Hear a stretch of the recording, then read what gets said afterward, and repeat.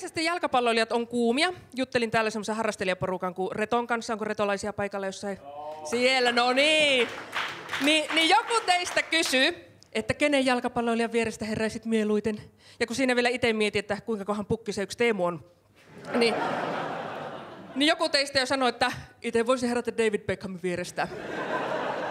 Ja koko muu porukka nyökytteli vieressä, että niin mekin. Mutta, mutta Oulussa ei haavella Beckhamista. Siellä yksi AC Oulu-fani huokas, että voi kun joskus saisi puuman sijaan herätä huuhkajan vierestä. Ja sitten me juotiin aamukahvit. mutta, mutta huuhkaja on silleen, silleen, silleen tota, hieno nimi, että siihen liittyy tarina, että kesken EM-karsintaottelun huuhkaja laskeutui kentälle Suomen hyökkäysalueelle. Oli ilmeisesti Helsingin rauhallisin paikka.